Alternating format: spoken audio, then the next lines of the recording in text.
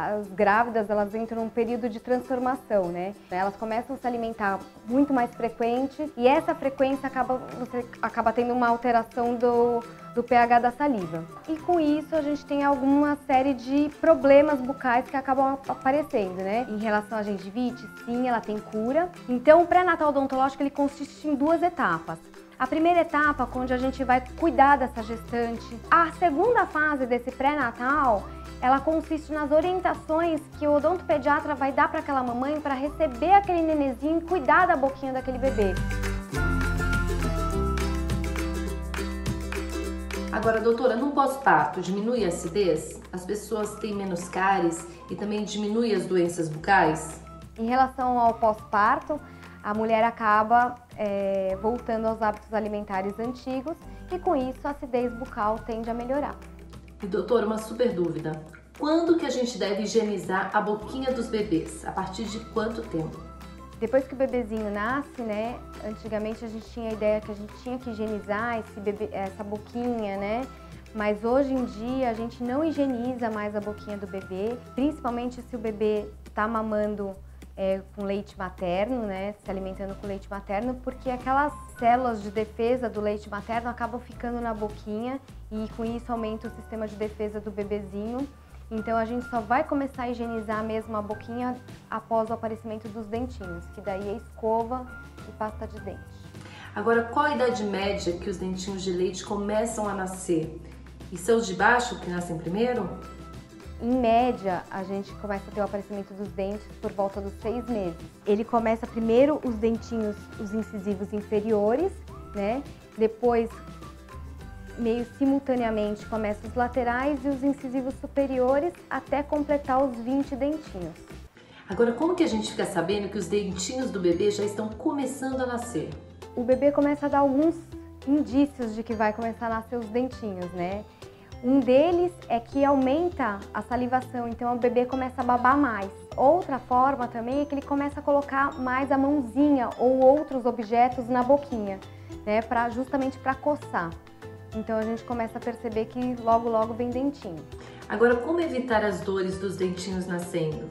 Isso é um assunto que incomoda muito as mamães, os bebês ficam muito irritados nessa fase então, é, o ideal é que a gente comece a dar alimentos mais gelados, o gelado alivia realmente esse sintoma e abrir mão de alguns mordedores, né, que a gente pode, tem esses mordedores que tem uma aguinha dentro que você pode colocar no congelador e dá para o bebê ficar mastigando, porque isso realmente alivia os sintomas dele.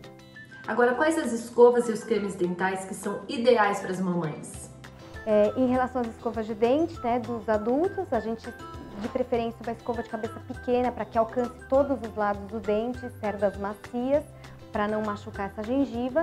E em relação aos bebês, a gente tem vários tipos de escovas, né, que a gente pode usar que sejam realmente pequenininhas e que caibam na boquinha desse bebê. Os cremes dentais, a gente sempre de preferência que tenha flúor, na quantidade entre 1.000 e 1.500 ppm, e essa quantidade de flúor também é adequada para os bebezinhos, né? Sendo que para os bebês, a gente tem que usar a quantidade de um grãozinho de arroz cru, uma quantidade bem pequenininha para começar a escovação desse dentinho dos bebês.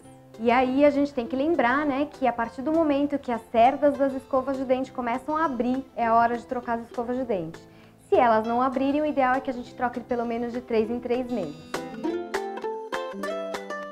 Nós temos alguns mitos realmente em relação à gestação, né? Um dos principais mitos é que o bebê acaba roubando o cálcio da gestante, né? Na verdade, não rouba nenhum cálcio. O que a gestante precisa é ter uma alimentação balanceada, nutricionalmente boa, para realmente a gestante não apresentar nenhum tipo de patologia associada à ausência de vitaminas. Outro mito bastante comum é que não é em relação à gestação, mas em relação a antibióticos, né? Nossa, eu tomei antibiótico e todos os meus dentes estragaram. Não é o antibiótico que estraga o dente, né? Hoje a gente tem antibióticos que a gente pode usar totalmente com segurança, que não vai ter nenhum tipo de alteração na dentição, mas o que realmente acaba prejudicando é que muitos antibióticos, principalmente os feitos para a linha infantil, acabam sendo para ser gostosos, né? Eles precisam ter açúcar. E às vezes a gente já precisa administrar esse antibiótico de madrugada, né? Em, é, em, horários em que a criança não vai conseguir fazer escovação logo após e a gente acaba realmente tendo é, o acúmulo de açúcar nessas, nesses dentinhos e podem aparecer cáries. Doutora Érica, muito obrigada por ter tirado todas essas dúvidas. Queria dizer também para todo mundo que está inscrito aqui no meu canal, se você tiver qualquer dúvida sobre qualquer assunto, é só mandar aqui que a gente responde, tá bom?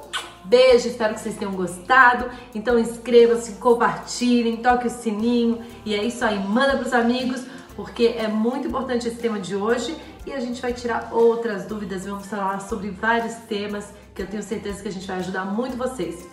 Beijo, gente! Valeu! Adorei participar do canal. Tice, super obrigado. Um beijão para você. E qualquer dúvida que vocês tiverem é só entrar em contato no meu Insta ou no próprio canal da Tice. Um beijo. Tchau, tchau. Oh.